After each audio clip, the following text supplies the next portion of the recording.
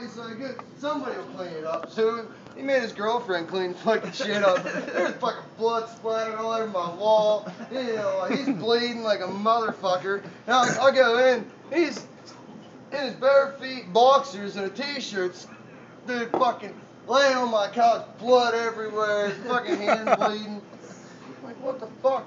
See, we take this hide, deer hide, and he goes and he puts it somewhere. I can't find, couldn't find the fucking thing for like three weeks. it's in my basement. I couldn't find the motherfucker. I mean, it's just boom, gone. Fucking, you know what I mean?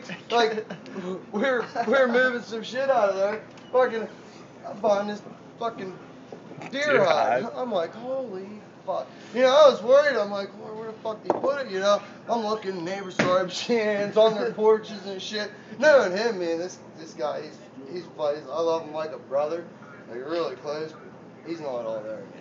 not at all. You know, fucking. I, I mean, I really was. I'm worried. I'm like. All right, what port porch did you put this on? I'm looking in dumpsters, dude. I'm walking down the street, opening people's garbage cans. Like, where in the fuck is that deer hide? you know, I'm looking for this motherfucker. I can't find nowhere. Then we start, we're moving stuff, and I run into fucking. I'm like, where the fuck did this come from? I'm like, oh yeah, that's where. I'm telling you, it was like three weeks I couldn't find this fucking deer. hide. Jesus. I started it and shit. I wanted to keep it. You know, I shot this deer right in the head. Yeah. So man, the hide's nice. I'm a hunter. I like to, you know, keep shit like it's like a trophy.